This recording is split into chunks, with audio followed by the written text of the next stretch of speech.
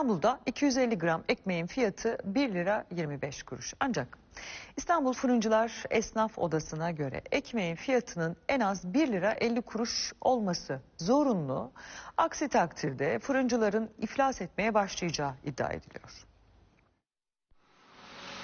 Hı. 250 gram ekmek fiyatında herhangi bir değişiklik yok.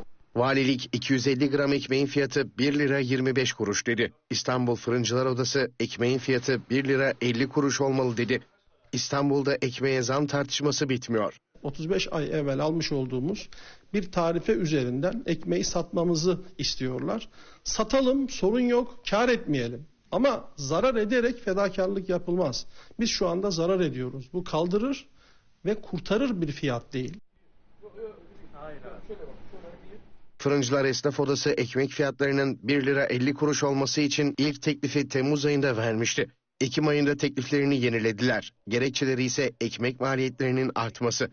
Un, tuz, maya, elektrik, su, doğalgaz, akaryakıt, işçilik, SGK giderleri e, ve genel giderlerin tamamı minimum yüzde 40, maksimum yüzde 70, yüzde 80'e kadar yüzde 100 artan maliyetler de var arttı.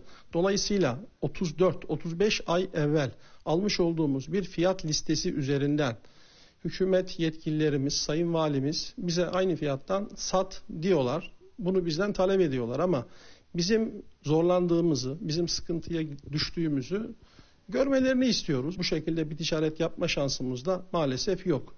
İstanbul'un birçok noktasında 250 gram ekmek 1 lira 25 kuruştan satılıyor. Bizde 250 gram ekmek 1.25. Ne kadar süredir böyle? Yani 3 aydır yaklaşık 3 aydır böyle. Ee, yıl sonuna kadar böyle devam edecek. Bu şekilde tabii para kazanamıyoruz. İstanbul'da son 45 günde 51 fırın kepenk kapatmak zorunda kaldı.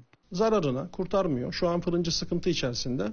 Onun için e, zorlanıyor. Bu manada İstanbul'da yani gün geçtikçe fırınlar zorlanıp kapatır pozisyona geliyorlar. Ekmek üretemez duruma geliyorlar. 39 tane ilçemiz var. Son 40-45 gündür 50-51 tane fırın kapattı.